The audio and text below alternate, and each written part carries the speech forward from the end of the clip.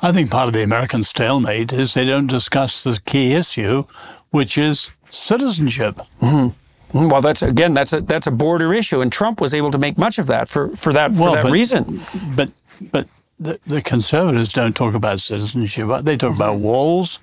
Uh, the other side talks about open borders. Yeah, America could take in a huge number if they make them Americans. Mm-hmm. I think that's what's so helpful about this mm-hmm. passage, though, that it, it, understands that assimilation is challenging, it's difficult, mm-hmm. but at the same time, one should be open to the stranger, open to the foreigner. We should be op- open to the possibility mm. of But they have to be incorporated within yeah, the structure through the rituals and the, the ceremonies and the citizens. That would assimilate. I'm totally with okay, you. Okay.